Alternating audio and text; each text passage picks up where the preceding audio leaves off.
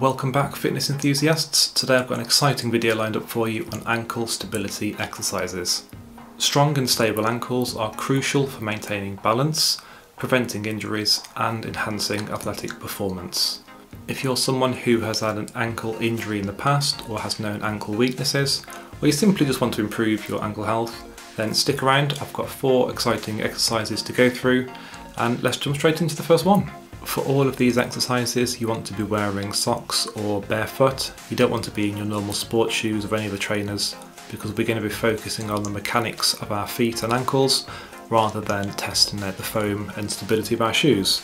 So the first exercise is hopping.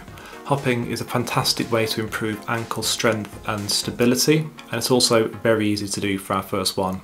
Start by standing and then hopping forwards on one foot, trying to land on the ball of your foot rather than the heel of your foot as that's going to reduce any impact. Once you've landed, try and hold that position for one to two seconds so your ankle can stabilise yourself, you can maintain your balance before hopping off again. Repeat this for several hops on one leg before switching over to the next.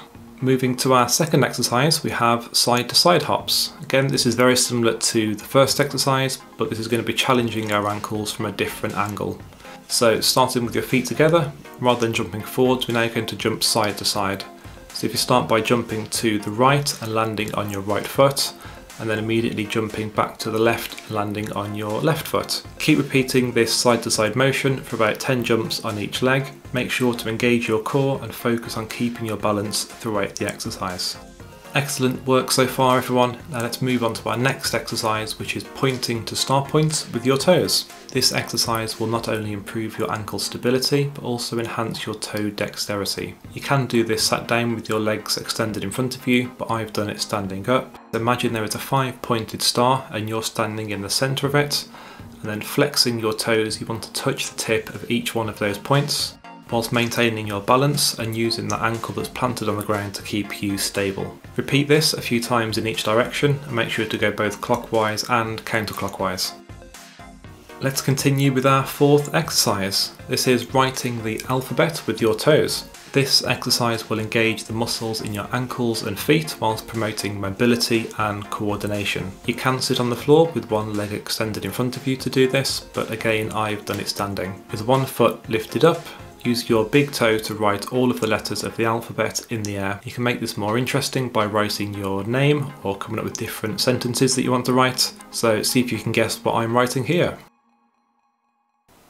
Oh wow, so that says like and subscribe. I would love it if you guys did, that would really help me out. Thank you very much in advance. Alright, so moving on. Awesome job so far everybody. Almost there, on to the last exercise. And this final one is kick swings. Kick swings are great for strengthening the muscles around your ankles whilst improving your balance and coordination. Standing tall, what you want to do is shift your weight onto one leg and then swing that opposite leg forwards and backwards in a controlled manner. When you first start doing this, maybe start with a, a smaller swing as I'm doing here and then work on increasing that swing up to a larger arc. You can also get a bit more creative with this one and that swinging leg you can drop it behind your body and go into a partial squat. This will help work out that ankle even more whilst getting a bit more of a leg workout in it for you as well, so bonus there. Make sure to find a good rhythm and keep controlled and comfortable with what you're doing. Um, as you can see I fell over a couple of times trying to do this by swinging a bit too much.